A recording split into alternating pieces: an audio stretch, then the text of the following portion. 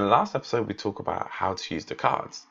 But in this final episode, we're going to look at how to actually bring on your team by inviting members to view your board, and then once they're in, what you can do with them.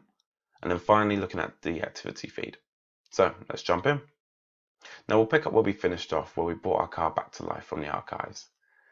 Now to add a member, simply head up to this icon up here, and you'll be able to either type in the address or the name if they're already in your team.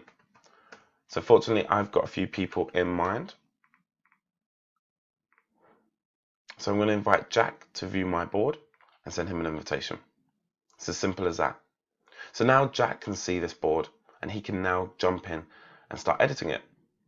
Now, if I want Jack to do something specific, I can add him to a certain card and he should appear just like this.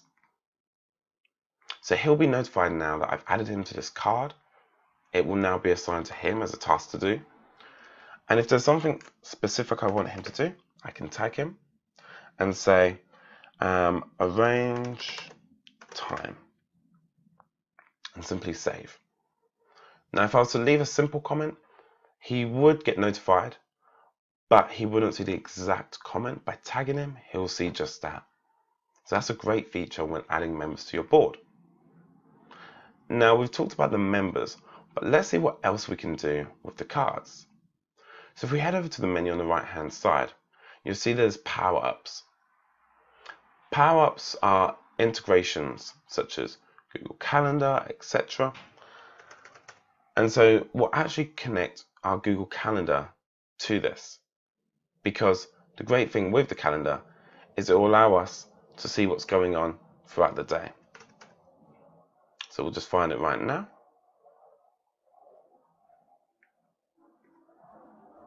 There we go. Add calendar. And then once you click it, you'll be able to see all the things on your to-do list that you've set due dates on. So of course, the walk the dog is for today, and you'll be able to see a nice organized structure of what's coming up. Now, besides power-ups, there's also stickers. Stickers add a little bit of humor and a little bit more visuals to your cards. So the stickers include thumbs up, smiley faces, and you can literally drag and drop them to indicate what's been done with that task. So this has been done, so we could move this over here, thanks to those stickers. Now, this menu isn't just about settings and customizable. What you'll be able to do with this activity feed is see what's been going on to the time.